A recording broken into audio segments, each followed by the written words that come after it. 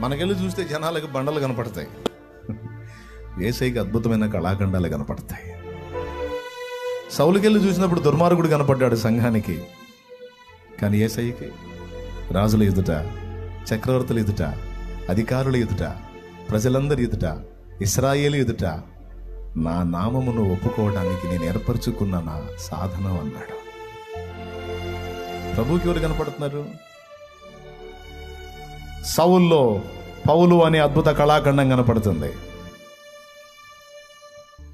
మనకి ఆనాటి సంఘానికి దుర్మార్గుడు కనపడ్డాడు. ఈరోజు ఇక్కడ కూర్చున్న నీ బ్రతుకు నా బ్రతుకు ఒకవేళ అలాంటి బలహీనతలతో నిండి ఉండవచ్చు కానీ ఏసయ్య నిన్ను నన్ను చూసినప్పుడు ఎందుకు ప్రేమిస్తాడో తెలుసా? నిన్నెలా ఎలా రూపుదిద్దబోతున్నాడో ఆయనకి తెలుసు కాబట్టి. నువ్వు ఫైనల్కి వచ్చేటప్పటికి ఫినిషింగ్ టచ్లో నువ్వు ఏ షేప్లోకి వస్తావో ఆయనకి తెలుసు కాబట్టి. నిన్ను అలా చెక్కడానికి అలా సిద్ధపరచడానికి సామర్థ్యం కలిగిన వాడు కాబట్టి అందరిలాగా ఆయన నిన్ను చూడటం లేదు ఇతరులు నిన్ను చూసినట్టు ఆయన చూడట్లేదు. స్పెషల్గా చూస్తున్నాడు ఆయన నిన్ను. నా తమ్ముడు నా చెల్లి అందుకే చెప్తున్నాను. అంత శ్రేష్టంగా నిన్ను ప్రేమించాడు అంతగా నిన్ను కోరుకున్నాడు.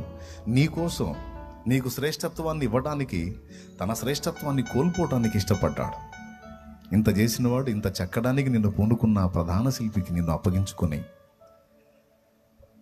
ఆయనను అనుసరించి ఆయన సాహచర్యంలో సాంగత్యంలో నువ్వు వర్ధిల్లటం ఎంత శ్రేష్టం? ఎంత దీవెన? మరి అందుకే స్టార్టింగ్లో ఆ మాట చెప్పింది. మీ ఫ్యామిలీ మెంబర్స్ కూడా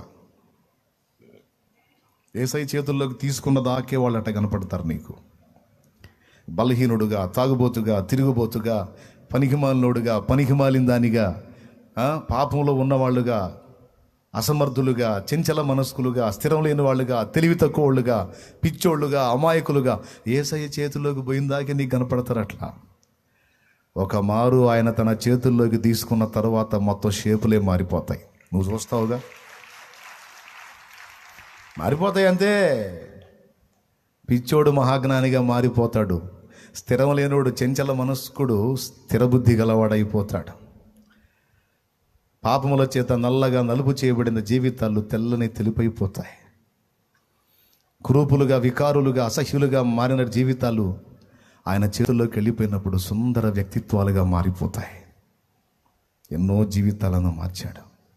టోటల్గా తన వధువు సంఘం అంతటిని కూడా అలా రూపుదిద్ద బోనుకున్నాడు కనుకనే వధువు తనను తాను చూసుకుంటే తేడా కనపడుతుంది.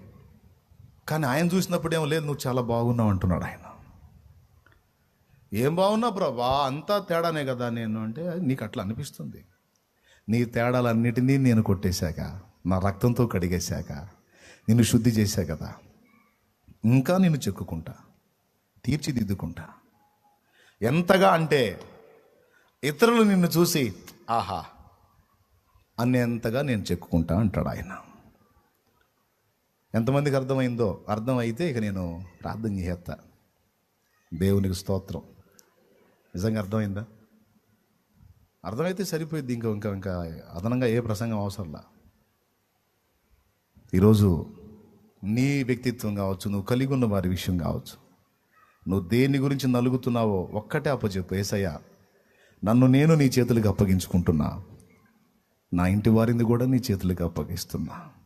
నీ కొడుకు సోదకుడు అయితే నీ కొడుకును దేవునికి అప్పగించేసి అప్పగిస్తా ఉండు నీకు అప్పగిస్తున్నా. చేత పట్టుకో. నా కుమార్తె నీ చేతికి అప్పగిస్తున్న చేత పట్టుకో. నా భర్తని నీ చేతికి అప్పగిస్తున్న చేత నా భార్య నీ చేతికి అప్పగిస్తున్న చేత పట్టుకో. నా సంఘ బిడ్డలు నీ చేతికి అప్పగిస్తున్న తండ్రి. తండ్రి. అల్లాడిస్తున్నారు. ఒక్కడు సరైనోడు లేడయ్యా. నీ చేతికి అప్పగిస్తున్నా అన్న ఆయన అప్పగించు. ఆ ప్రధాన శిల్పి ఆ పరమ శిల్పకారుడు తన చేతుల్లోకి తీసుకున్నంత వరకే ఎవడి బ్రతుకైనా. తీసుకొనిగా సుత్తెవులితో పని మొదలు పెట్టాడంటే ఉట్టి బండరాళ్ళు సుందరమైన శిల్పాలుగా మారిపోతాయి.